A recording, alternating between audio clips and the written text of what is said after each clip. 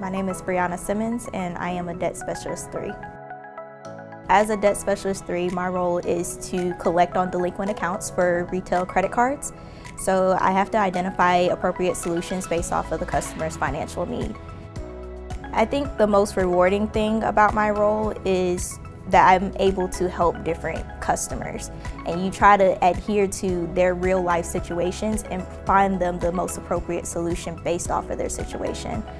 In the six years that I've been here, I have switched roles three times, and it's not because I don't like the role, but there's so much room for opportunity to grow within the bank.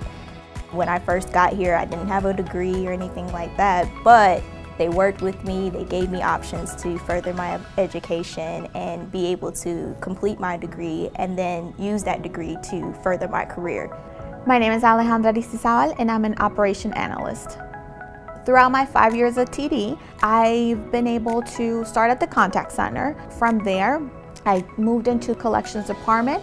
That aspect allowed me to interact with customers as well as interacting with all the new leaders. And then I transitioned to my workforce management role that I currently have.